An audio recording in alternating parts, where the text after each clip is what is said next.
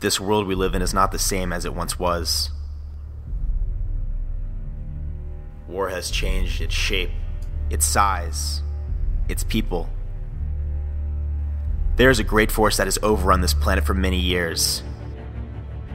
It has torn families apart. It has been called the noble by few and the evil by many. This force is known as the Progressives.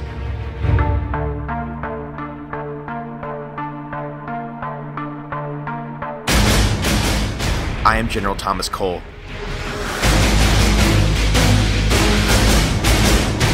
I lead a small unit of progs.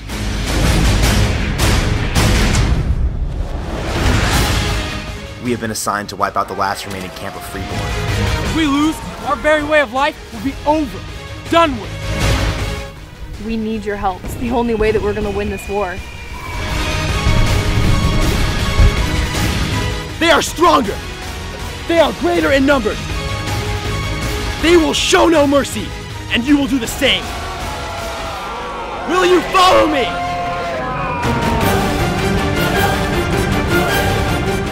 This is planet Earth.